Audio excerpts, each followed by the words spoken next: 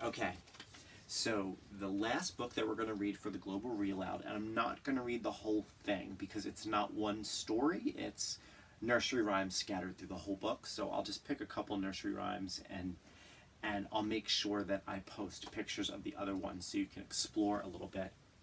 It's La Madre Goose by Susan Middleton Elya, illustrated by Juana Martinez Neal, and as you remember, we see that the distinctive style of illustrating hair is back.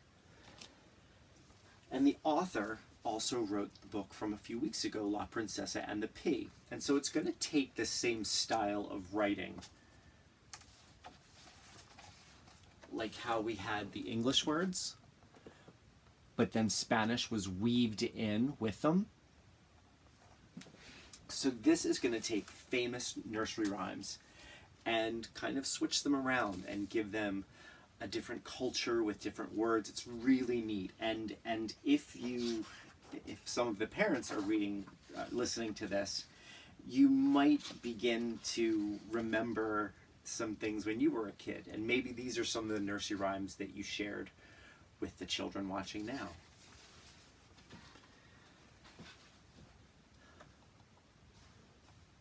This one is Maria had a little oveja, and then Baba Black Oveja. So Mary had a little lamb and Baba Black sheep. No idea what the difference is between a lamb and a sheep. Maria had a little oveja. Its lana was white as snow, and everywhere that Maria went, La Oveja was sure to go. It followed her to school one day, which was against the rule. It made los niños laugh and play to see una oveja at school. Ba ba black oveja, have you any lana? See sir, see sir, three bags llenas. One for my sister, una for mi madre, and one to be shared by my brother and mi padre.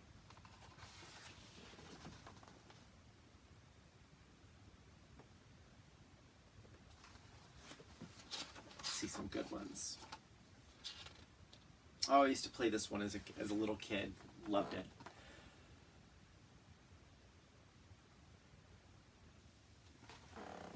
This little cerdo went to market. Remember when you used to play with your toes? This little piggy went to market. This little piggy stayed home. This little piggy had roast beef. I don't know why that makes any sense. And this little piggy went wee wee wee all the way home. This little cerdo went to market. This little cerdo stayed home. This little cerdo had roast carne.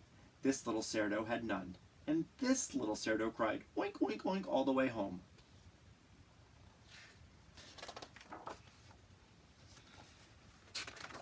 Not going to read this one. It's the three little kittens lost their mittens. And they have um,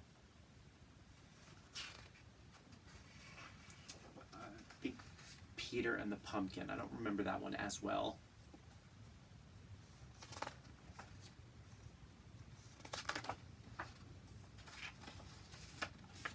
I love this one because it's a game that I used to play as a little kid all the time.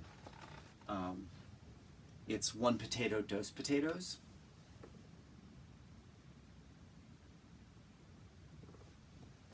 One potato, dos potatoes, trace potatoes, four cinco papas, seis papas, siete papas more. And when we'd have like the one potato, two potato, three potato, four, five potato, six potato, seven potato, or, and then you'd be the big potato. That was fun.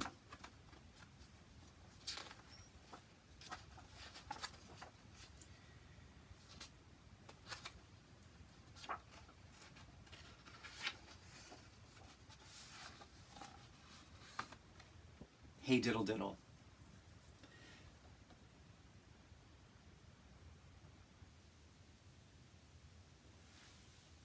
Hey diddle diddle, El Gato and the Fiddle, La Vaca jumped over La Luna.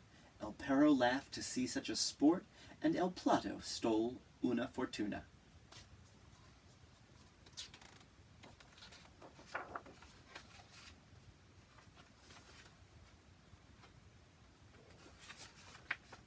I'll do one last one. Twinkle, twinkle, small Estrella.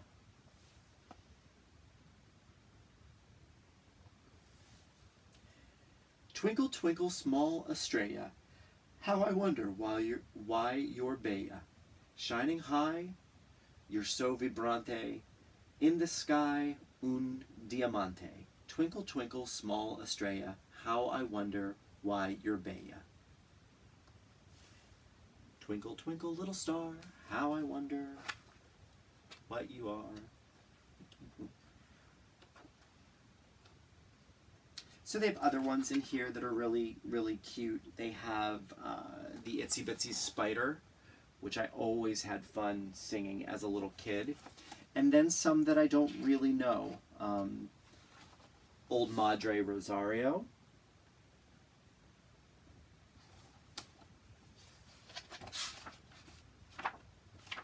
Uh, little Boy Azul, that Little Boy Blue.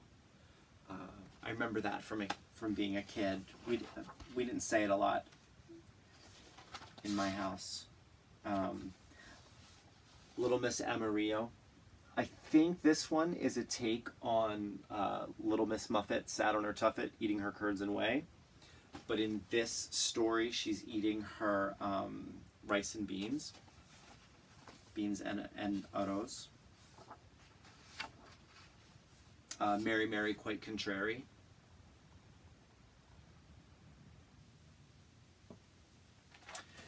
So, uh, along with a really, really quick seesaw assignment, I'll post some pictures of these so that you can explore some of the other nursery rhymes in this book because it's really, really cute.